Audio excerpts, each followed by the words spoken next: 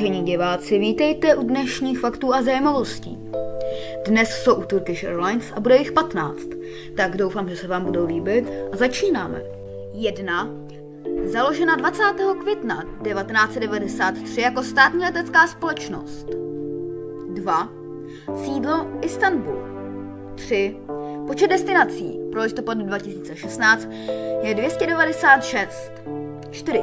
Člen Aliance Star Alliance. 5. První přílet do Prahy je 11. července 2000 Boeingem 737. Rotace byla operována jednou týdně. 6. Turkish Airlines aktuálně létá do Prahy třikrát denně. Airbusem A320 a A321. 7.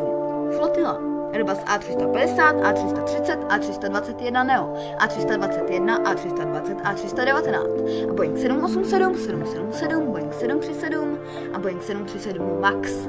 Pokud se vám video líbí, nezapomeňte ho podpořit lajkem nebo odběrem, případně komentářem. A my pokračujeme. 8. IATA TK 9. ICAO THX 10. Colsing Turkish 11 sesterské společnosti Sun Express a Nalojet 12. Turkish Airlines má skvělý servis, dlouhodobě je mezi nejlepšími na světě. Na letech například do New Yorku je kuchař. 13. Turkish Airlines nabízejí na letech delších než 2 hodiny jídlo a pití zdarma.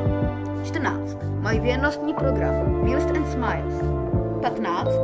Letenky nakoupíte nejlevněji na webu Turkish Airlines. Letenky z Prahy do Istanbulu začínají na ceně 3000 korun. Pokud se vám video líbilo, můžete ho podpořit lajkem, odběrem nebo komentářem. Já se budu těšit u dalších videí na tomto kanále. Ahoj!